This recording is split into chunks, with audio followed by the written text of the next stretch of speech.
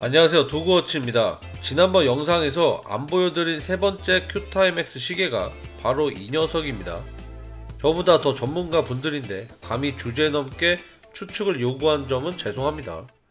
사실은 이 시계가 마음에 들어서 구입을 한 거고 다른 Q 시계들은 그냥 뭐 깎아준다고 해서 얼렁뚱땅 산 겁니다. 완전 개인 취향인데 오늘 리뷰 시계는 상당히 매력적인 Q Timex LCA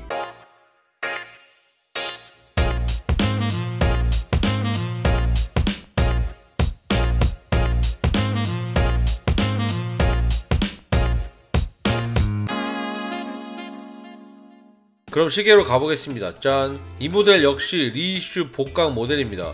오리지널 모델은 1987년 Timex M433 뭐 거의 동일한 외관 모습이고 2020년 작년에 리이슈 프로젝트로 다시 출시를 하였습니다.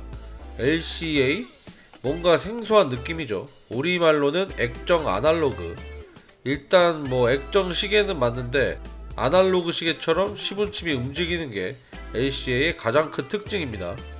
자료를 좀 찾아보니 80년대 은근히 이런 액정 아날로그 방식의 전자시계들이 꽤나 있었더라고요. 카시오 A280, 시티즌 9560-083181K 이건 지금 봐도 상당히 이쁘죠.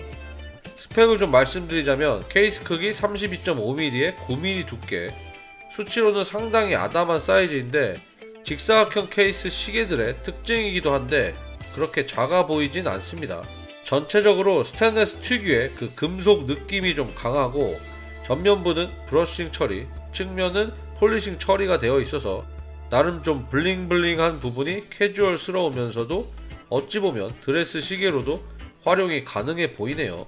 스틸 flat link가 적용된 이 bracelet은 어느 정도 예상된 이 편안한 착용감과 완전 빈티지한 모습 정가가 149달러인 점을 고려한다면 그렇게 고급 모델도 아닌데 Q Timex가 대체로 그런 건지 의외로 만듦새는 괜찮습니다. 다른 스트랩은 오히려 안 어울릴 정도로 예상이 좀 될 만큼 확실히 LCA의 bracelet은 장점인 것 같네요.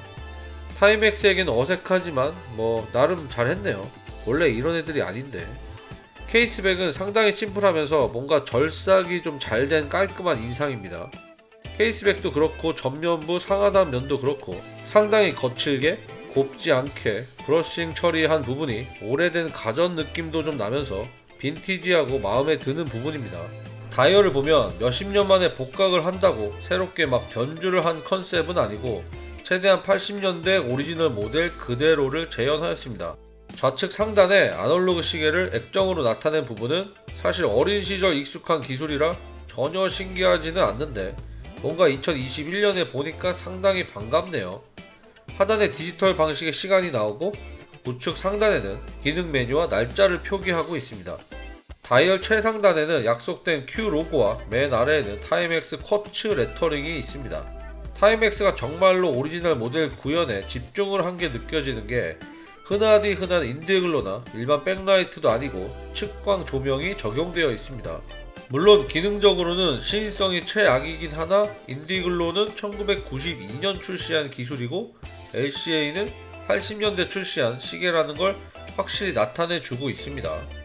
나름 현대적인 LED를 적용한 건 괜찮은데 아예 뭐 누런 전구 벌브를 적용했으면 어땠을까요? 총평입니다. 확실히 큐타임X LCA 리슈 모델은 어, CR못이나 시계 입문자 분들에게는 추천드리지 않습니다. 기능이 뭐 좋은 것도 아니고 내구성도 G-Shock처럼 좋지 못합니다. 하지만 어, 확실히 LCA는 마니아, 뭐 컬렉터들이 좋아할 만한 요소들이 있습니다. 일부러 빈티지한 측광 조명을 적용한 부분이라던가 오리지널 모델의 이 작은 사이즈로 출시한 부분도 그렇고요. bracelet도 빈티지하고 클래식해 멋져 보이네요. 암튼 디자인 자체는 어, 이쁜 건 사실입니다. 공감하실지 모르겠는데 저 어렸을 때 이렇게 뭔가 액정창이 큰 게 약간 좀 비싸 보이는 뭐 그런 기준 같은 거 있었거든요. 저처럼 오래된 전자시계 감성을 좋아하시는 분들께는 20만원대의 가격은 크게 문제가 되지는 않을 것 같네요. 지금까지 도그워치였습니다. 감사합니다.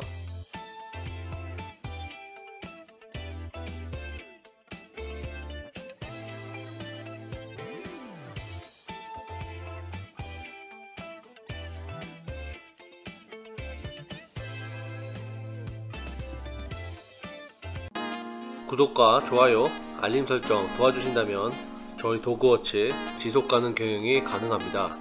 사랑합니다.